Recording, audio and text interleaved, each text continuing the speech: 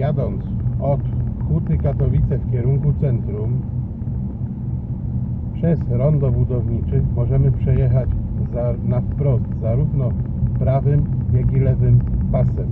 I mówi o tym tak oznakowanie pionowe, jak i oznakowanie poziome.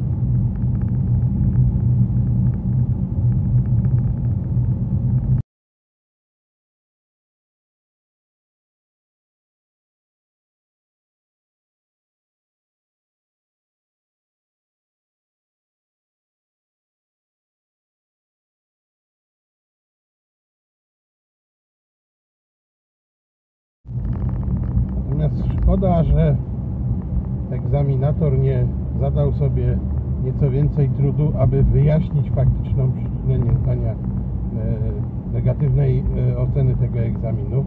Wszak być może przy tak niewielkim natężeniu ruchu jak teraz e, uznał po prostu za błąd niedostosowanie się do zasady prawostronnego ruchu, czyli wymogu jazdy prawym pasem. Uznał to jako błąd, być może już wcześniej taka sytuacja się zdarzyła. Równie dobrze mogło być tak, nie że uznał, że nie dostosowałaś się do